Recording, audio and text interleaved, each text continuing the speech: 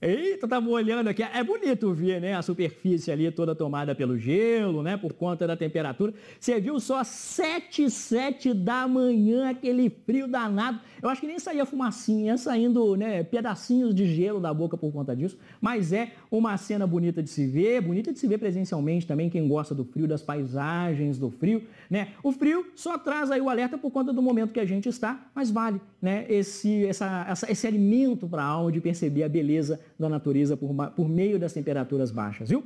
Estamos chegando ao final da Alterosa em Alerta, não só de hoje, mas dessa semana. Passamos a régua por hoje aqui. Quero te agradecer sua companhia, seu carinho, sua confiança. Abraço. Beijo do Boia, que você tem um final de semana especial demais. Segunda-feira, ó, 11h30, vou estar aqui e já esperando você. Até lá.